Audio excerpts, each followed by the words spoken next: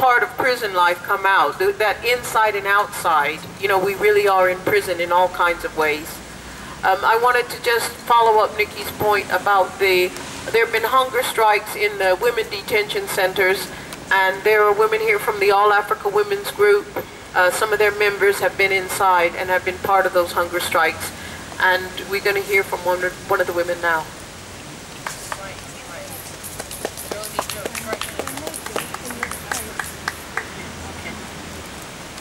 Hi everyone, thank you for coming. I'm a member of the All African Women's Group, which is a self-help group.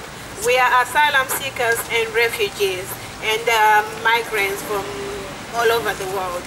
Uh, we are not only just from Africa, we have women who come from everywhere, right about everywhere.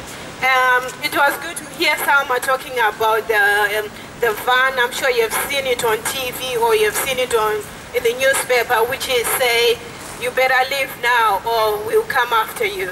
And I think that's racial profiling because at the end of the day, it's, um, it's targeting people from Africa and Asia because we are non-EU, therefore we don't qualify to be here. And they are making it even harder for people to renew their visas. And they're also making it harder for asylum seekers to be granted leave to remain because they know very well that they asylum seekers, when they come here, they are fleeing persecution, but in, in return, we are being sentenced to life in prison, whereby we, you are just staying out here. You are not allowed to work. You are not allowed to, to, to study. And sometimes they call you for an interview. You go to the reporting centers and they take you in and you have to fight your way through the women's groups for you to be able to come out. And when you come out, they put a tag on you so that they can monitor you. Some of our women could have been here, but they are not able to be here because they've got to be indoors by 3 o'clock. Therefore, they are being their movement is being restricted. And uh, was it yesterday, Boris Johnson was on the news saying that trying to defend his own government. And yet, um, when he was campaigning to be a mayor for London against Ken Livingstone, he said we should give uh, uh, immigrants the right to stay, like amnesty, and he has forgotten about that. And a few weeks ago, when he said he wants to rerun in the next mayoral election, he said we should also consider giving amnesty. So I don't know how many how many amnesties Boris Johnson has spoken about. The same thing goes for Nick Clegg. In 2010, he was campaigning that we should regularize all immigrants so that they can pay tax, and nothing has ever been done. When he talks now, he says, no, we are in coalition, we have to compromise. So that means everything has been abandoned. So whenever they are campaigning, don't ever listen to what they say because you know very well they won't deliver. So I remember one of my colleagues, she's here, she, she said, she called me, she sent me a message to say, oh, Boris Johnson just says it. I said, don't ever be fooled. This is the second time he has done it. And con they, con they still continue to do that. And right now, because they are scared of UKIP, they are now saying, because what is happening, the minute you mention taxpayers' money, it makes the British people happy and very comfortable. That also, because like yesterday they were saying uh, on press review that um, it take we spent fifteen thousand pounds to deport uh, an immigrant. So that's scaremongering so that there are people who believe that, oh, they're spending a lot of money and we could use that money for other things in this country. And then those people, they, if they were not making it tougher for them, they will be able to, to regularize their stay and being able to stay, and some of them can actually go and work. But at the moment, I'm sure in early next year, you're going to see it when Romania and Bulgaria comes in. It's going to be like, oh, you see that one there? They are not supposed to be here. And that means, you know, we are being racial profiled. And some of us women from the All African Women's Group, we have had the opportunity to attend uh, the Jim Mubenga inquest. Right from the first day or the second day, you could actually tell that the G4S uh, security guards were guilty of killing Jimmy. Uh, because Jimmy had the right to be here, he was a refugee. He was a loving father of five children and a wife but they still had the opportunity to deport him, although he wasn't supposed to have been deported. They killed him as they were trying to send him home. He was calling out saying, they'll kill me, they'll kill me.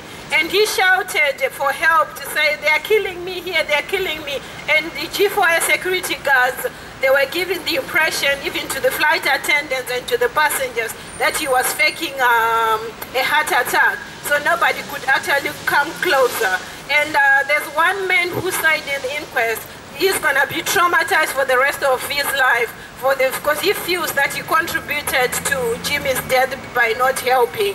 And we do know of another guy called Olu who tried at one point when he was on a, aboard a plane and they were trying to deport somebody. And when he went to say, you know, what are you doing?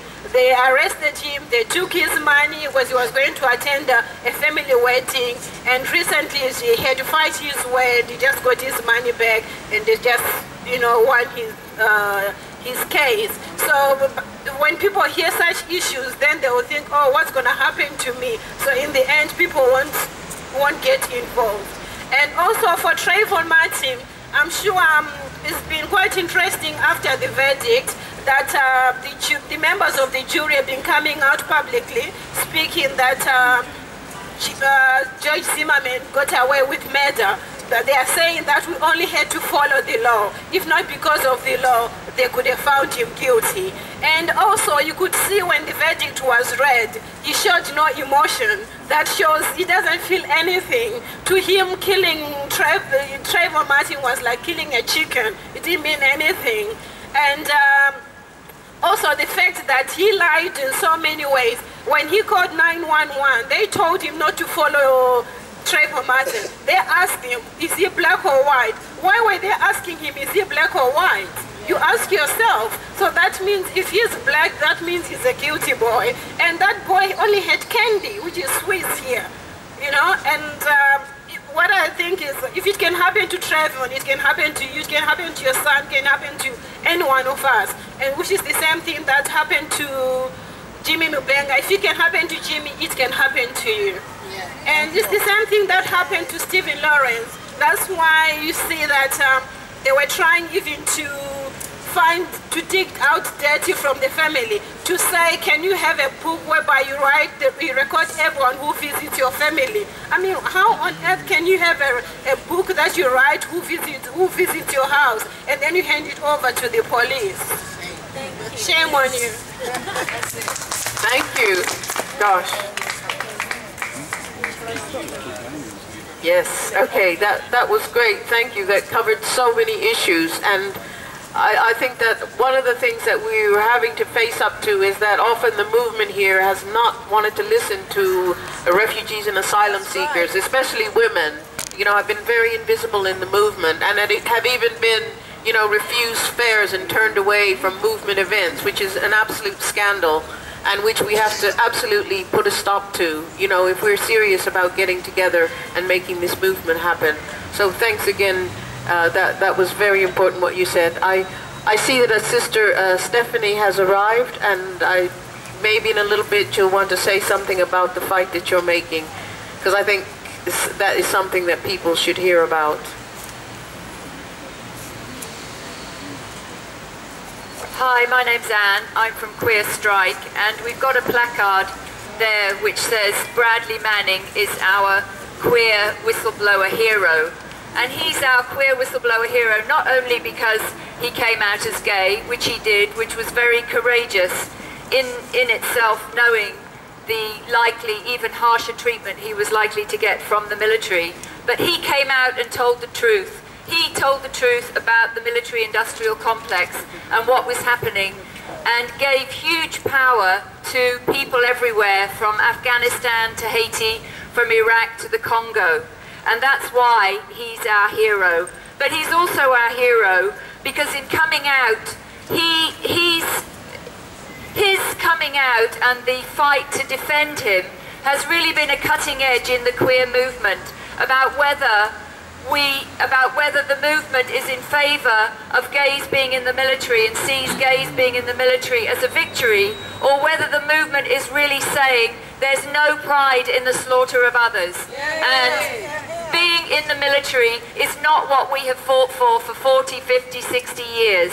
So we and the, the movement, this, the time is now that the movement is going to have to decide which side it's on. Is it about, you know, having, being able to be gay and be the president of Citibank or be gay and be the head of some big corporation, some other big corporation?